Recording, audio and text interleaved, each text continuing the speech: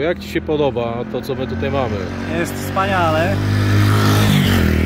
Jestem tym, tym, co jest za mną, jestem zachęcony do kupowania tutaj wody w No, restauracjach. już niestety Pan poszedł, nie, nie zdążyłem, ale możesz opowiadać dalej, No. proszę bardzo. Przed chwilą widzieliśmy, jak pan z tego tutaj rynsztoku brał wodę do picia.